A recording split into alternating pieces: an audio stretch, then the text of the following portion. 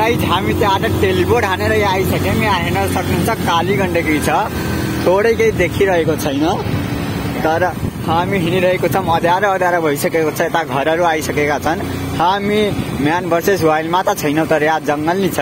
तपाईँ हेर्न सक्नुहुन्छ अँध्यारोले नदेखेको होला तर यता पुरै जङ्गलै जङ्गल छ। यहाँ काली गण्डकी पनि छ हेर्न सक्नुहुन्छ। काली गण्डकी। गाइज गाइज बाटो इधर बहुत अच्छा है। देख सकते हो आप लोग। वही ओए अरे, हमारा राइडिंग देखो भाई। हम तो मेसी से भी आता बाइक चलाते गई आपको पता है।